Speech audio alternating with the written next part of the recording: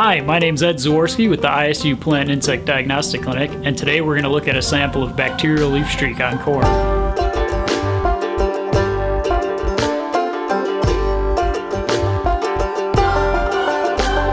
So I'm here in the dirty lab of the clinic where we initially take a look at all of our samples on these stainless steel benches. And uh, when I get a sample of corn that I suspect bacterial leaf streak, the first thing I do is I hold that leaf up to the light, look at it, and if I see these nice yellow margins that were not visible when I was holding it down, I'm going to go ahead and uh, do a few diagnostic techniques to look for bacterial leaf streak. Now I'm here in the microscope room in the clinic and I'm going to cut a lesion to check for bacterial streaming. So when I cut a lesion, I want to put a drop of water here on my microscope slide and I'm going to place the piece of the lesion that I cut into the water. And what's going to happen is the bacteria should flow from the cells of the lesion into that water and that's what we call bacterial streaming. And then we're going to look under the microscope to see if bacteria is streaming out of the lesion. So now I have my leaf that I cut on my compound microscope here.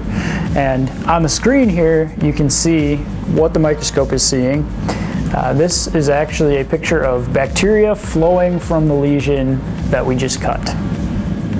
So that is our proof that we have bacterial streaming. So bacterial streaming is important because it tells us we have a bacteria and not a fungus.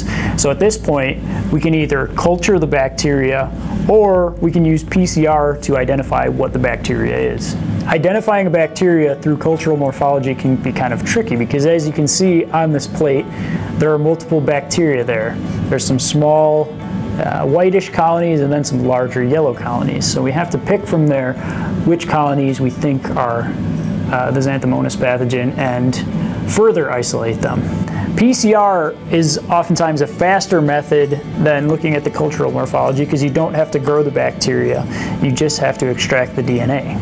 To do the PCR reaction, we simply need to extract DNA from the bacteria and then compare it to a known control, which we maintain here in the lab. There's two reasons why I think submitting samples for bacterial leaf streak are important.